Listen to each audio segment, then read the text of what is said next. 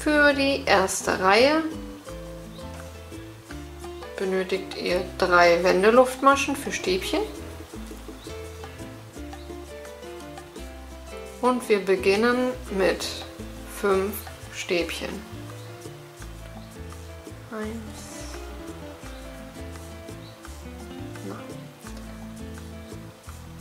Zwei. Drei. Vier. Fünf. Drei Luftmaschen. zwei Maschen freilassen und in die dritte eine Kettmasche. Drei Luftmaschen, zwei Maschen freilassen und in die dritte oder ab der dritten fünf Stäbchen.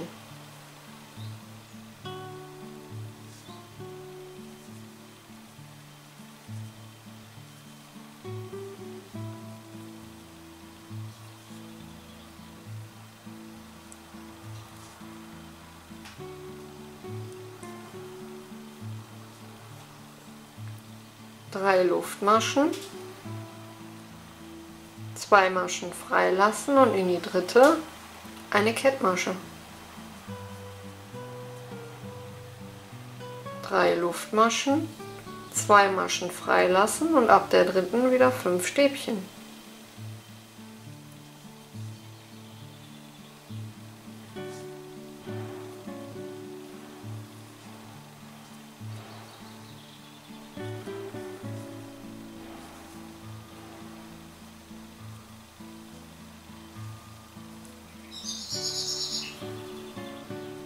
Drei Luftmaschen, zwei Maschen freilassen und in die dritte eine Kettmasche.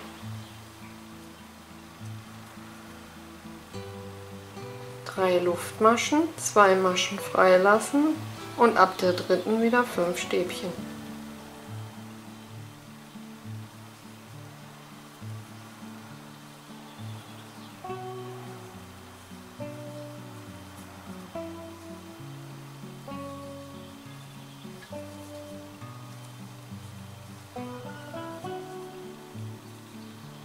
Und so jetzt die ganze Reihe weiter. Drei Luftmaschen, zwei Maschen freilassen, in die dritte eine Kettmasche, drei Luftmaschen, zwei freilassen, ab der dritten wieder fünf Stäbchen.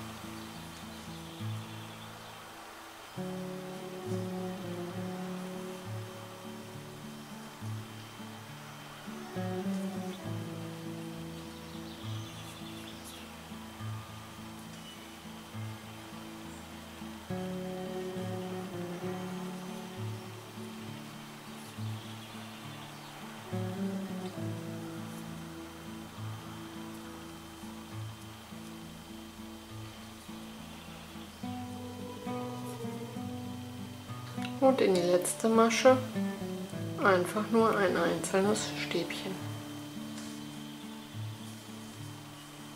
Und fertig ist unsere erste Reihe.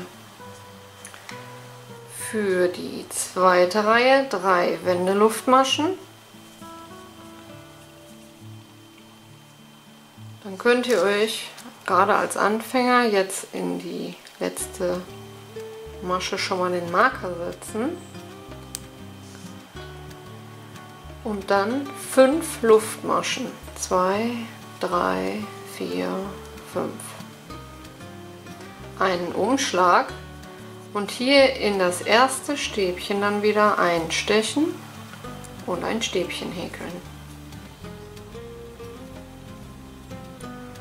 Und ab hier wieder über jedes Stäbchen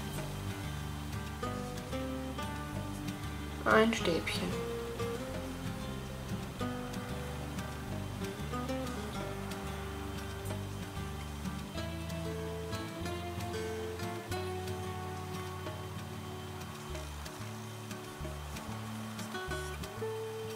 Fünf Luftmaschen, einen Umschlag und wieder über jedes Stäbchen ein Stäbchen.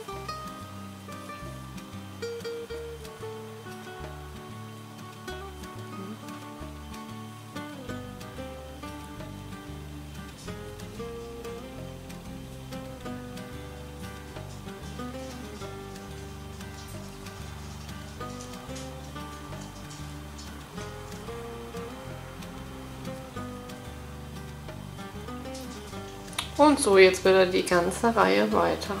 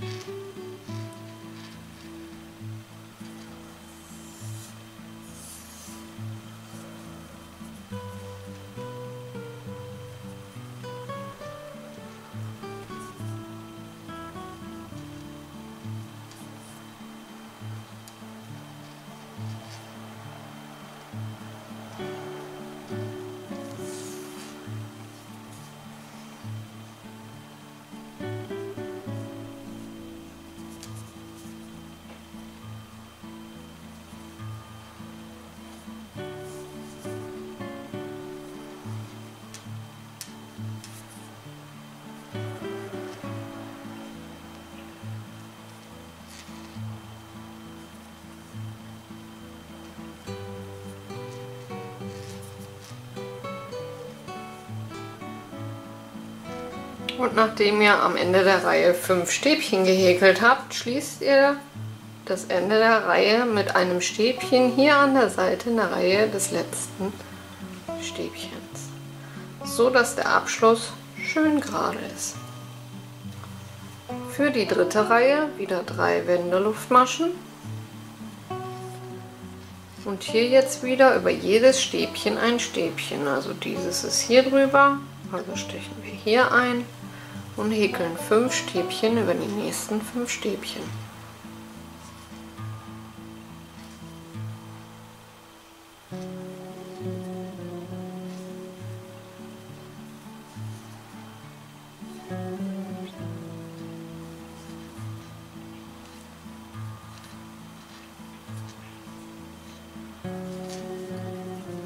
Drei Luftmaschen und nun stechen wir in die mittlere Masche der Kette ein. Ich steche dann immer mit dem Haken zuerst, hole den Faden durch und mache eine Kettmasche. Dann wieder drei Luftmaschen und wieder fünf Stäbchen über die fünf Stäbchen. Das Maschenbild an sich wird wirklich schöner, wenn ihr in die Kette einstecht, also fester, dadurch, dass es nicht mehr verrutschen kann. Ihr könnt natürlich auch um die Kette herum, aber dann wird das Maschenbild natürlich später nicht so schön werden, weil dann auch die Kette verrutschen kann.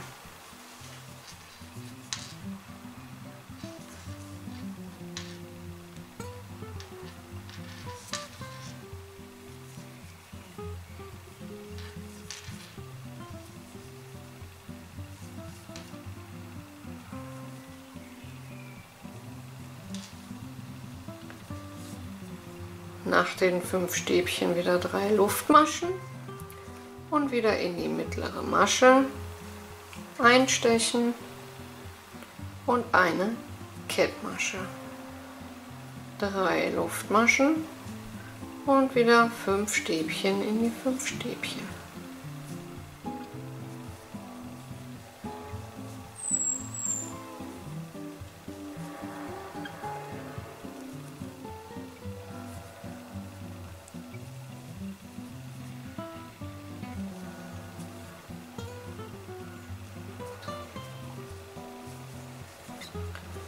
Drei Luftmaschen wieder in die Mitte einstechen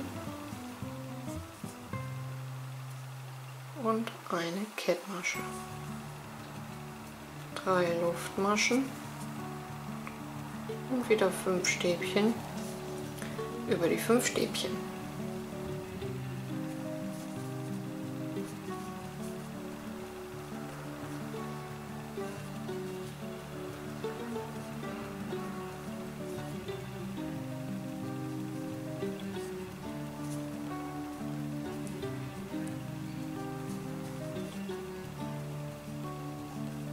Drei Luftmaschen in die Mitte der Kette einstechen, eine Kettmasche.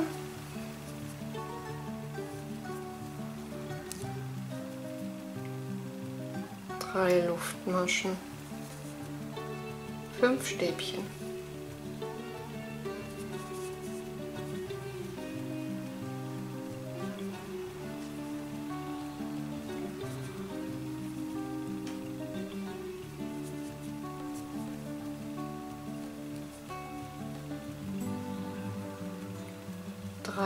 Luftmaschen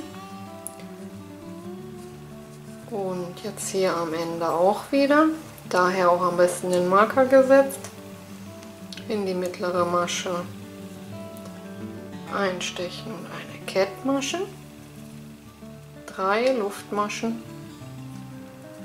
Und nun in die Masche, wo der Marker ist, das Ganze mit einem Stäbchen beenden.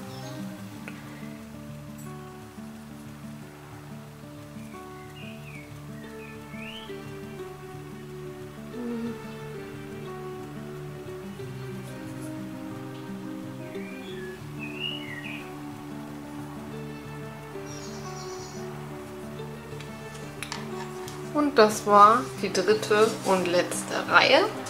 Und jetzt kommen wir noch zur vierten, wo ich euch zeige, wie ihr das Muster verschiebt. Drei Wände Luftmaschen. Und nun um die erste Kette zwei Stäbchen.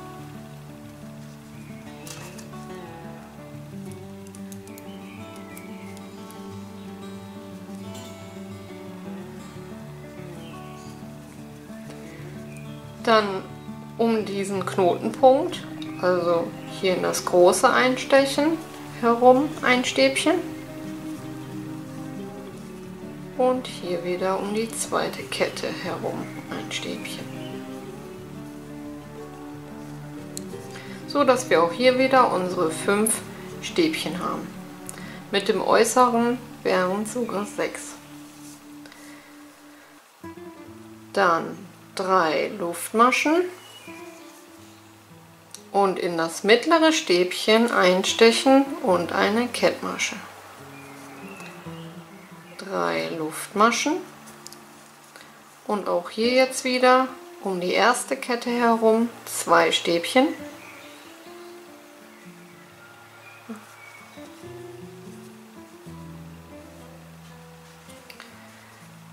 Knotenpunkt herum, also hier in das große einstechen, ein Stäbchen. Und um die nächste Kette herum zwei Stäbchen. Wer jetzt sagt, die Stäbchen sehen aber ein bisschen kruselig aus, weil die hier keinen Halt haben, die werden durch die Stäbchen, die ihr darüber häkelt in den nächsten zwei Reihen, in die vernünftige Richtung gezogen.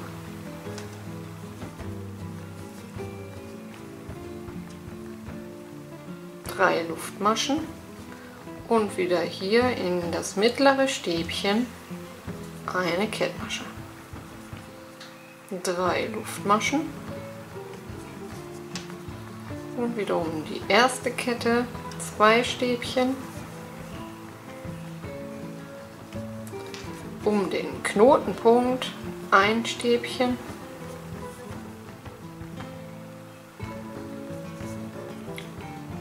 zweite Kette zwei Stäbchen. Dass wir auch hier wieder unsere fünf Stäbchen haben.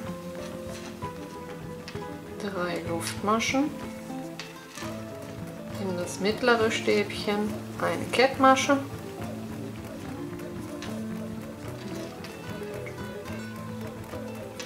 Drei Luftmaschen. Erste Kette zwei Stäbchen.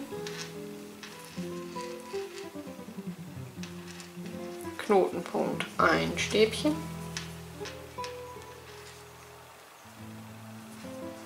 Und um die zweite Kette ein Stäbchen.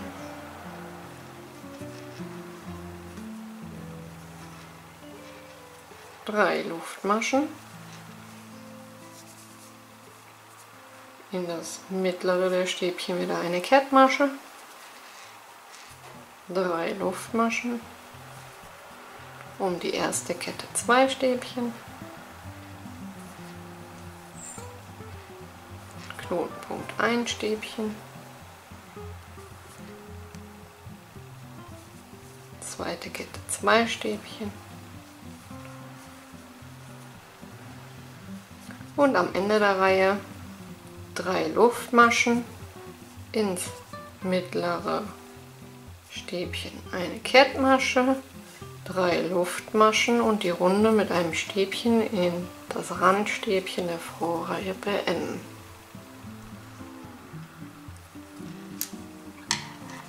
Und so habt ihr das Muster jetzt verschoben. Weiter geht es dann jetzt wieder hier mit der zweiten Reihe, wo ihr fünf Luftmaschen macht, um das große Löckskin zu erzeugen. Und dann wieder mit den drei Kettenmaschen. Ansonsten bleiben die fünf Stäbchen über die fünf Stäbchen. Also ich zeige euch jetzt noch mal eben die fünfte Reihe besser, den Anfang. Und zwar drei Luftmaschen. Hier wieder den Marker setzen. Weil wir hier das große Löckskin erzeugen. Fünf Luftmaschen.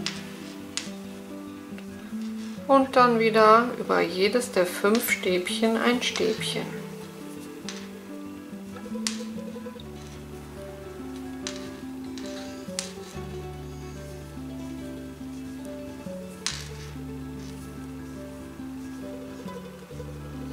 Also das Muster ist an sich sehr leicht zu merken. Wir häkeln immer drei Reihen.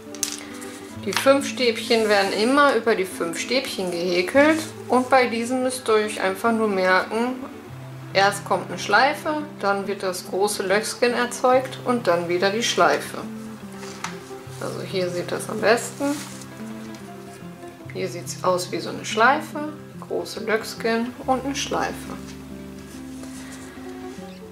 Ein recht simples Muster aus drei Reihen, recht leicht zu merken und man muss einfach nur den Kniff raus haben, wie man dann das Muster verschiebt.